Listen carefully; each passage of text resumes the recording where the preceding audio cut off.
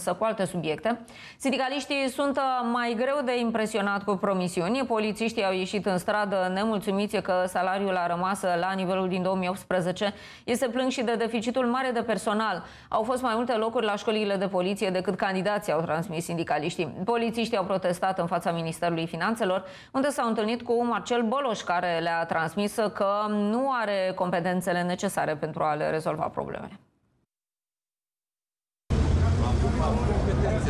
Necesare ca să vă Astăzi, deci nouă vine, ne-a spus că astăzi se rezolvă. Domnule ministru, deci nu-i primiți la negocieri? Deci ne primiți în sfârșit sau nu?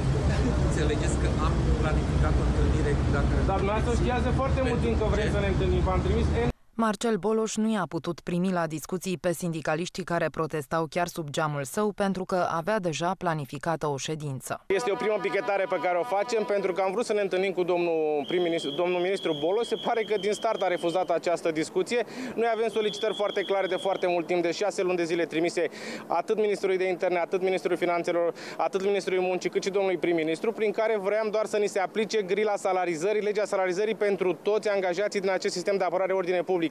Polițiștii au declanșat seria protestelor anunțate pentru următoarele patru zile, ei fiind nemulțumiți de proiectul de buget care prevede o majorare de doar 5% pentru bugetari. Banii pentru chirie au rămas înghețați la nivelul din 2009, iar norma de hrană nu a mai fost actualizată din 2018. Noi nu suntem la ora actuală în grilă cu tot ceea ce privește drepturile. Astfel, chiria, spre exemplu, este înghețată la anul 2009, sporurile sunt uh, înghețate la nivelul anului 2018. Acestea sunt principale, să zicem așa, două revendicări. Se fac foarte multe ore suplimentare, este în sistemul ăsta, e în groapă, e în colaps. L-au dus în colaps acest guvernanți care au trecut vremelnic prin aceste funcții de conducere și care nu au gestionat corespunzător și au creat discrepanțe salariale între foarte multe categorii profesionale.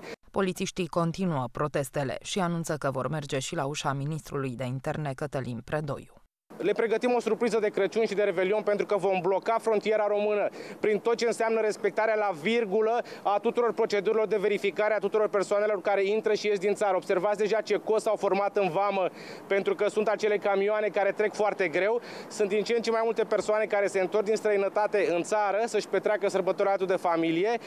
Din păcate vor avea de suferit, dar cei care trebuie să răspundă sunt acești guvernanți Polițiștii mai spun că le pregătesc mai multe surprize guvernanților și le transmit să-și găsească oameni care să le păzească urnele la alegerile maraton de anul viitor. La anul să-și păzească singur tot ce înseamnă buletine de vot și tot ce ține de procesul electoral. Noi, ca Poliția Română, avem singura atribuție de a interveni pentru a cerceta, soluționa și constata infracțiunile electorale. Punct. Nu trebuie să le păzească nimeni cabinele de vot. Anul acesta, la școlile de poliție, au fost mai multe locuri decât candidați. Nu mai este atractiv pentru că salariul unui, unui polițist bugetar, unui polițist debutant, este salariul minim pe economie, la care îi se adaugă niște spunuri de rahat, pe care nici măcar pe acelea nu vor să le plătească. Dacă aș da timpul înapoi, m-aș mai încadra în poliție, dar în condițiile actuale niciodată.